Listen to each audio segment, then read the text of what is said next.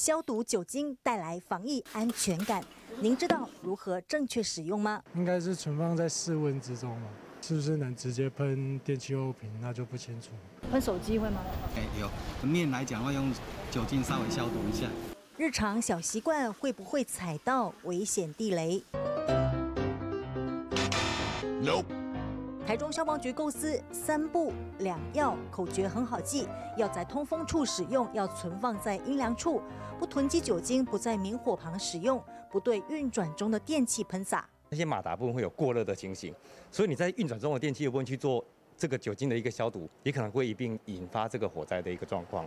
如何演出喜感？头一次当演员的消防队员下足功夫。这两个我们这个动作一直重复，要拿下去，然后就是也有。应该有快十次了，差不多。对啊，一直疯狂的拿，一直疯狂的拿。影片中提到，不要在明火旁使用，真的很重要。只要喷上去的时候，虽然是没有接触到液体，没有接触到火源，可是它的那个气体，只要达到了温度的话，它马上就会接着就会省的会散过来。